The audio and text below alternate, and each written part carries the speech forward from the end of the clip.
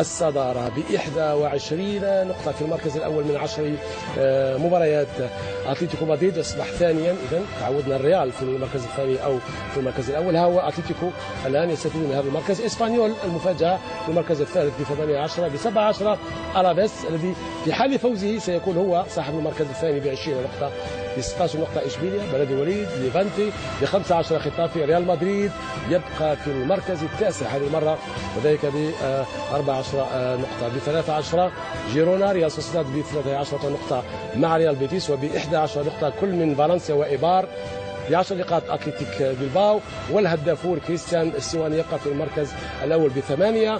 ياغو أسباس الذي أيضا سجل يبقى في المركز الثاني. ليونيل ميسي الذي لم يشارك بسبعة وينضم إليه لويس سواريز بسبعة أيضا وأندري سيلفا البرتغالي.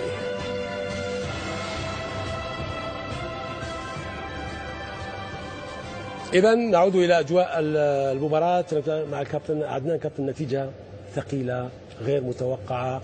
هل تتوقع بأن هذه النتيجة ستعجل أولا بمغادرة المدرب لوبيتيغي أو إقالته قبل الوصول إلى مدريد؟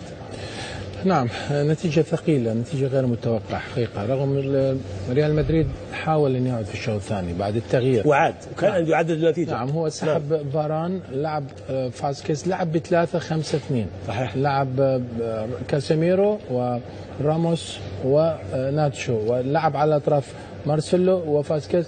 والفريق حقيقة أدى 20 أو 25 دقيقة على أفضل كان قريب من تعديل النتيجة. نعم سجل اضاع عدة فرص كان ممكن المباراة تاخذ مجرى آخر لكن لكن الفريق